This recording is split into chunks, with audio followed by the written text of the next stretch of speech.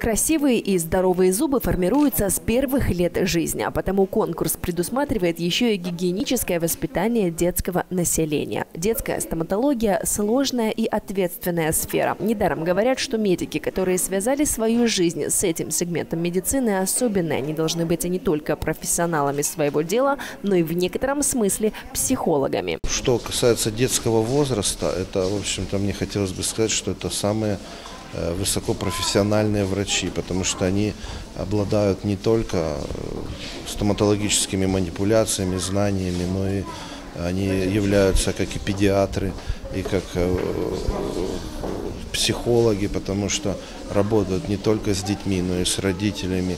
И весь этот комплекс умений, знаний, навыков – Э, конечно же, помимо стоматологии, это все они применяют э, на приеме у каждого пациента. Конкурс профессионального мастерства проходил на базе Брестской городской стоматологической поликлиники. Три пары врачей из Бреста, Пинска и Барановичей состязались одновременно. Лучшего детского айболита выявляли по целому списку критериев. У нас существует э, целый перечень критериев, там их, наверное, около десяти.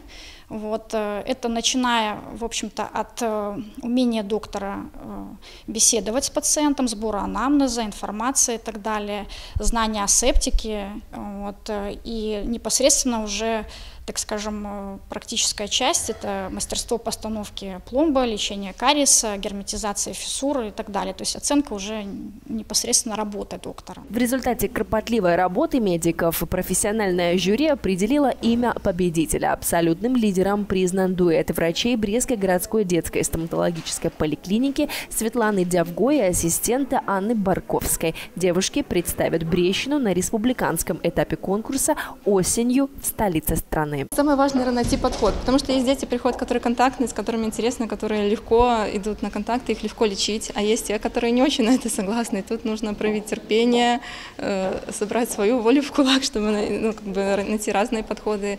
Некоторые боятся, начинаешь лечить, они потом понимают, что не больно доверяются. Тут поэтому как бы смотришь, с кем-то надо более настойчивость проявить, с кем-то помягче. Справедливо назвать этот конкурс примером филигранной работы, ведь именно детская стоматология по своей природе самая сложная сложное. Здесь недостаточно владеть навыками лечебного дела, нужно еще найти подход к маленьким пациентам, порой капризным и неусидчивым.